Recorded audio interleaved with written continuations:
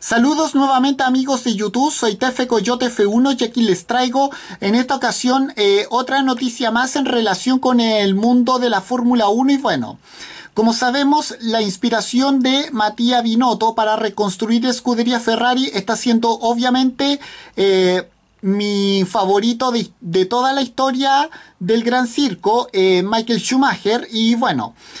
Eh, para ellos, eh, el objetivo no es solamente volver a luchar por triunfos y presencias en el podio. Y bueno, vamos a hablar un poco de aquello. Bueno, bueno, no es ningún secreto que la escudería Ferrari, eh, cuya sede principal se encuentra domiciliada en Maranello, está atravesando uno de sus momentos más difíciles, eh, una de sus épocas más difíciles desde la creación de la Fórmula 1 en el año 1950.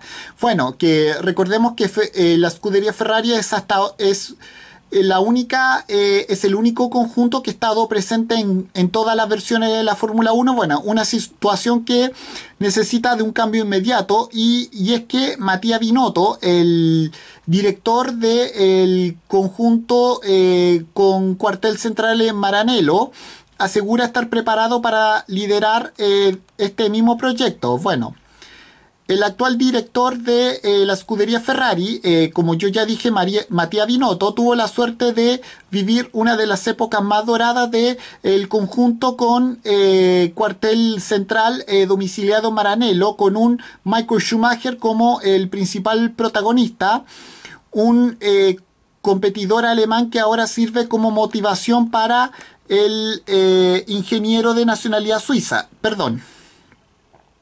Bueno, estas fueron las palabras del director de, la compañía automovilística eh, para, la propia, eh, para el propio sitio, sitio web de la Fórmula 1.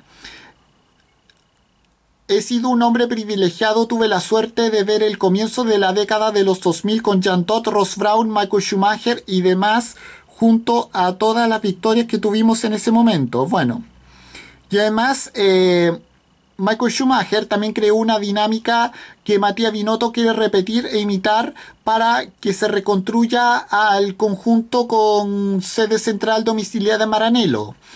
Bueno, creo que fue, que fue importante para mí en mi carrera porque aprendí mucho en ese momento. Aprendí qué tipo de mentalidad necesitas para ganar. Creo que aprendí cómo se debe intentar hacer un equipo y ahora tengo que intentar duplicarlo. Bueno, y son totalmente claros los objetivos para la marca Ferrari. Bueno, no hay tiempo para bajar los brazos en el conjunto con sede principal domiciliada en Maranello. Y esto fue lo que se dijo. Lo que he visto en estos 25 años es que hay momentos que pueden ser muy difíciles y creo que cuando tienes esos momentos es importante ser paciente, pero aún tienes que ser determinado para intentar hacerlo bien y mejorar. Bueno, y por último, el mismísimo eh, Binotto reconoció que el objetivo no es solamente eh, no es solamente luchar por triunfos, más bien es crear una, una nueva época parecida a la vivida a, a principios de la década de los años 2000.